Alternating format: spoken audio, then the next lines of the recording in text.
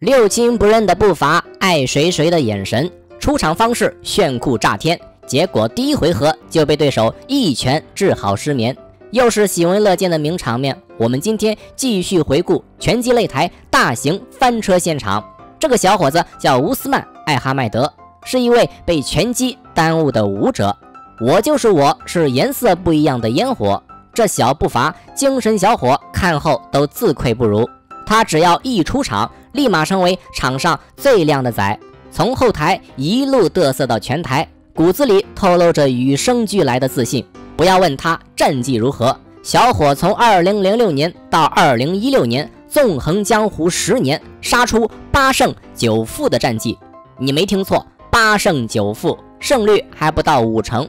另外，他的职业生涯从来没有 KO 过对手，倒是常常被对手 KO。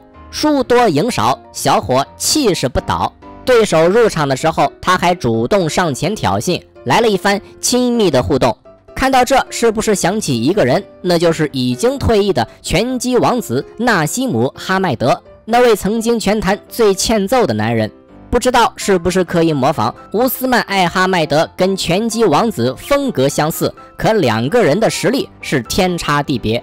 拳击王子的战绩是三十六胜一负，是前 WBO、WBC、RBF 三大拳击组织的世界拳王。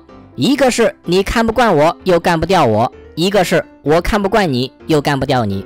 这场比赛，小伙的对手是阿什利·塞克斯顿，人狠话不多，塞克斯顿全程一言不发，两个人形成了鲜明的对比。比赛开始后，塞克斯顿就牢牢占据场地中央。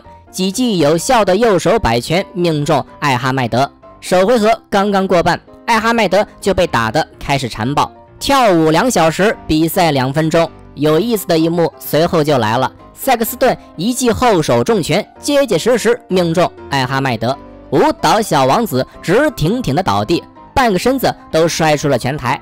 裁判连读秒都省了，直接终止了比赛，并且在第一时间上前抠出小伙的牙套。